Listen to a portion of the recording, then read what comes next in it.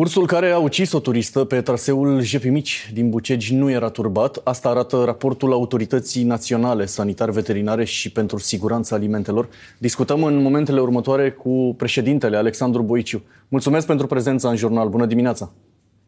Bună dimineața dumneavoastră și ascultătorilor dumneavoastră. Vă mulțumesc frumos pentru invitație. Eu vă mulțumesc mult pentru prezență încă o dată. De ce era important, domnule președinte, să stabiliți dacă avea rabie sau nu? Uh, vorbim despre un exemplar cu vârstă cuprinsă între 4 și 5 ani, care a ajuns la laboratorul sanitar veterinar și pentru siguranța alimentelor Prahova. S-au constatat că nu există leziuni, exemplu, femeia nu era gestantă, nu era în lactație, iar la examenul anatomopatologic și virusologic nu s-a confirmat prezența rabiei. Dacă ar fi avut rabie, ce era diferit, Dacă... în, ce era diferit în, în tragedia care s-a întâmplat, domnule președinte? Ca să putem înțelege, de fapt, relevanța rabie sau nu. În, în, poate în comportamentul, sau, da, în, în comportamentul atacului față de om. Asta încercăm să înțelegem. Uh, este foarte agitat, are un comportament total diferit față de, de, de situații normale, este foarte, foarte agresiv și poate ataca. Înțeleg. Atât animalele cât și oameni. Faptul că nu e turbat, și asta o spun analizele, dar cu toate astea um, am înțeles cel puțin de la salvamontiști că atacul a fost destul de uh, violent. Are, ar, ați găsi explicații pentru... Uh... Din punct de vedere sanitar veterinar și pentru siguranța alimentelor, singurele explicații care se pot da în acest moment sunt, uh, uh, sunt următoarele.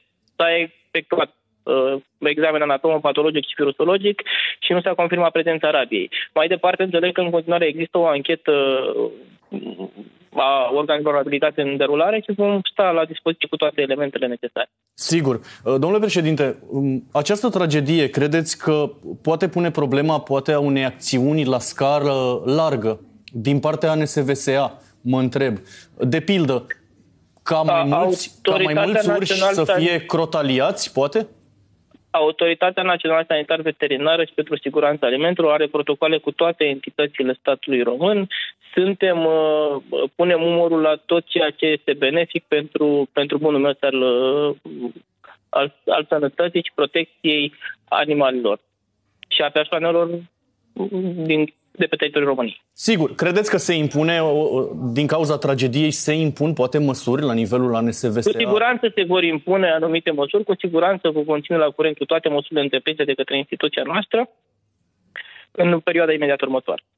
Dați-mi un exemplu de măsură, domnule președinte, vă rog frumos, pentru că uh, ieri, pe tot parcursul zilei, s-a pus problema de pildă dacă uh, urșii care pun în pericol viața oamenilor ar trebui sau nu să fie împușcați. Părerile sunt împărțite, știți, probabil mai bine decât noi.